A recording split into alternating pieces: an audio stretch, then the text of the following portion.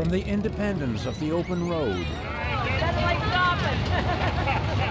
That's a bit fast, isn't it? She No. became totally No. dependent Okay on you? medical technology that ultimately couldn't save her. When enough is enough, you gotta do what you gotta do.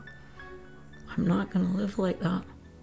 Doomed by ALS, to fight for life was futile. She could only hope to manage how she'd die. Palliative care to me is just stoning me out of my mind till I don't know what's going on.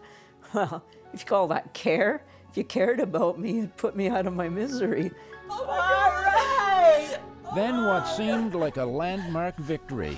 Today, the BC Supreme Court, in a watershed decision, has ruled that the right to die with dignity is protected by the Charter of Rights and Freedoms.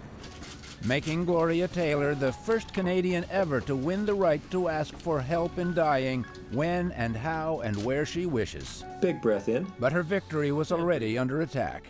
We can't give everyone everything that they want. And that includes the specific thing of timing your own death. Are we to believe that if the court strikes down the law, that we're going to have doctors on a killing spree?